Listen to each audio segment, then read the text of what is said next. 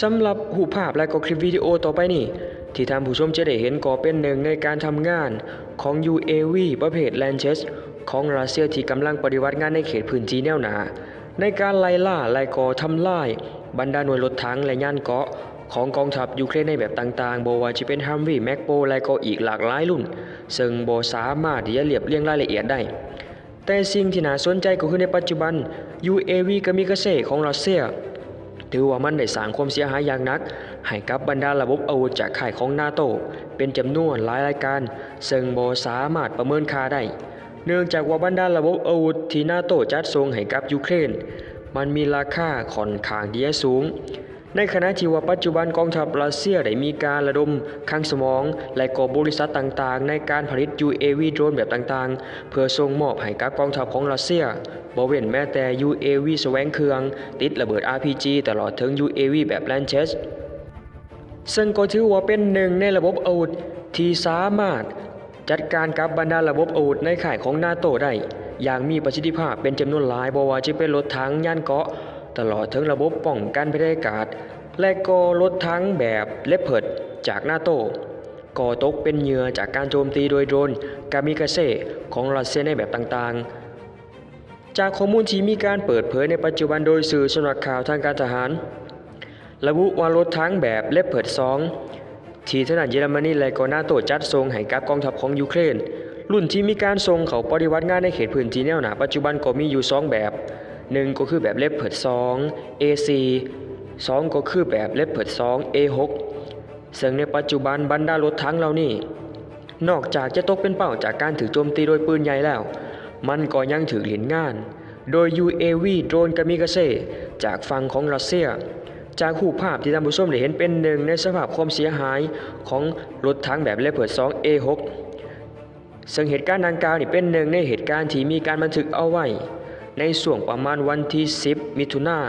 ปี 2023 ที่ผ่านมา จากปฏิบัติการการบุกโจมตีขังใหญ่ของกองทัพยูเครนส่งโบเด็ดให้พวกเขาสูญเสียรถทั้งแบบเลปเปิดเป็นจำนวนหลาย และจากคลิปวิดีโอฉบับดังกล่าวนี่ก็แสดงเห็นถึงรถทั้งแบบเลปเปิด 2 A6 จำนวน 2 คันที่ถูกจอดถิ่มเอาไว้ซึ่งตามการรายงานเขาระบุว่ามันเป็นหนึ่งในรถถังที่ตกเป็นเป้าจากการถือโจมตี โดยโดรนกามิกาเซ่ของรัสเซียแบบแลนเชส ที่ได้บินเขาโจมตีในส่วนของป้อมปืนจนทรงบเด็ดไห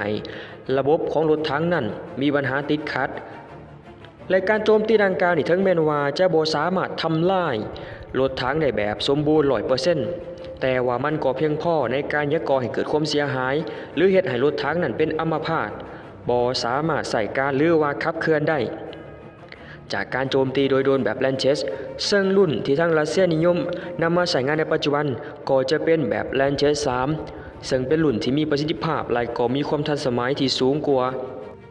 และนอกจากนี้ในวันเดียวกัน ทางกองทัพรัสเซียเองก็ยังได้มีการเผยแพร่การโจมตี รถถังหลักของยูเครน ในรุ่นของเลปเพิร์ด2 AC ซึ่งถือหลินงานจาก UAV โดรนกามิกาเซแบบ FPV ก็เป็นประเภทของโดรนกามิกาเซแสวงเครื่อง ที่ถึงนำใส่ยางแพร่หลาย อยู่ในสนามรบแนวหน้าบ่ว่าจะเป็นในฝั่งกองทัพของยูเครน หรือว่าในฝั่งกองทัพของรัสเซียก็มีการนำใส่ซึ่งในปัจจุบันกองทัพรัสเซียเองก็ยังได้มีการก่อตั้งหน่วยโดรนของตนเอง เพื่อสร้างความเสียหายให้กับกองกำลังส่วนหน้าของยูเครน ปัจจุบันมีรายงานว่าอาวุธยุทโธปกรณ์ของยูเครนเป็นจำนวนหลายถูกทำลายจาก UAV แสวงเครื่องในลักษณะดังกล่าวนี้นับบ่ถ้วน และสิ่งที่สำคัญก็คือ UAV ที่ทางรัสเซียมีการนำใส่ปัจจุบัน เขาระบุว่ามันมีราคาถือกว่า UAV โดรนในฝั่งของทางตะวันตกหลายเท่า ซึ่งอาจจะมีราคาพอๆกันกับเครื่องซักผ้า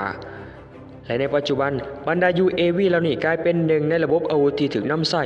ในการโจมตีระบบอาวุธขันสูงจากนาโตโดยเฉพาะเมนรถถังและก็ย่านเกาะ และถึงแม้นว่าอำนาจการทำลายล้างของ UAV แบบแสวงเครือง อาจจะต่ำกว่าการโจมตีแบบ UAV Lancet แต่มันก็เพียงพอในการเหยียยุดการทำงานของบรรดารถหุ่มเกาะและก็รถถังขนาดเบาได้ แต่ว่ารถถังแบบเลปเพิดก็อาจจะเป็นเรื่องยากในการทำลายแบบสมบูรณ์ แต่ก็เพียงพอในการยักก่อให้เกิดความเสียหาย ต่อกับบรรดาระบบอาวุธราคาแพง จากข่ายของนาโตได้ ซึ่งในปัจจุบันประเภทของ UAV โดรนในลักษณะดังกล่าว ก็จะมีราคาอยู่ที่ประมาณบ่เกิน 10,000 เหรียญดอลลาร์สหรัฐในขณะที่ว่า UAV ประเภท Land Jet 3 ก็จะมีราคาอยู่ที่ประมาณ 20,000 เหรียญดอลลาร์สหรัฐต่อหนึ่งลำซึ่งแน่นอนว่ามันมีการนำใช้ประเภท ระบบเทคโนโลยีที่สูงกว่า ปัจจุบันนี้ทางรัสเซียมีการพัฒนาในรุ่นของแลนเชสสามขึ้นมาซึ่งมีระยะการยิงสูงถึงระดับ 70 กิโลเมตร แต่ถ้าหากว่าเป็นในรุ่นแลนเชสหนึ่งจะมีระยะการปล่อยสูงสุดอยู่ที่ 40 กิโลเมตร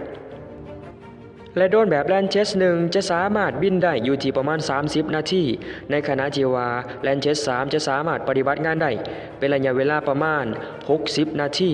ซึ่งแน่นอนว่ามันสามารถจัดการกับบรรดารถถังและก็ย่านเกาะจากข่ายของนาโตได้ อย่างสบาย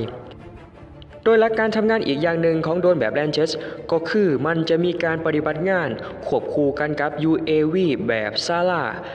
421ขีด16 ที่เป็น UAV ขนาดหน่อย ที่ใส่สำหรับการลาดตระเวนค้นหาเป้าหมายและหลังจากที่กวดพบเป้าหมายทางกองกำลังชาร์จรัสเซียจะทำการปล่อยโดรนในหลุนดังกล่าวนี้ออกไปเพื่อทำการโจมตี ในขณะที่ว่า UAV โดรนอีกลำหนึ่งจะเหตุหนาทีในการบันทึกการโจมตีเพื่อประเมินภาพความเสียหายต่อกับบรรดาระบบอาวุธนั้นๆส่งกลับมายังฐาน ซึ่งถ้าหากว่าระบบอาวุธโบสามารถทำลายได้ก็อาจจะมีการโจมตีซ้ำ และโดยเหตุผลดังกล่าวนี่เหตุหายปฏิบัติการการโจมตีโดยโดนแบบแลนเชส ในแต่ละครั้งมันจะถูกบันทึกเอาไว้ และก็กลายเป็นหนึ่งในระบบอาวุธที่มีสื่อเสียงที่สำคัญสำหรับกองทัพของรัสเซียที่บรรดาระบบป้องกันบรรยากาศแบบต่างๆ ของฝ่ายยูเครนและก็นาโตบอสามารถยิงยิงทำลายหรือว่าสกัดกันได้จนหมด เนื่องจากทั้งฝ่ายรัสเซียเองก็ได้มีการเพิ่มกำลังการผลิตขึ้นเป็นสองเท่า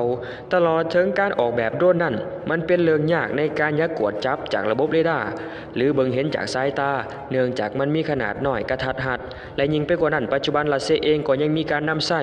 UAV กับมิกาเซแบบแสวงเครื่องเป็นจำนวนหลายยิ่งขึ้น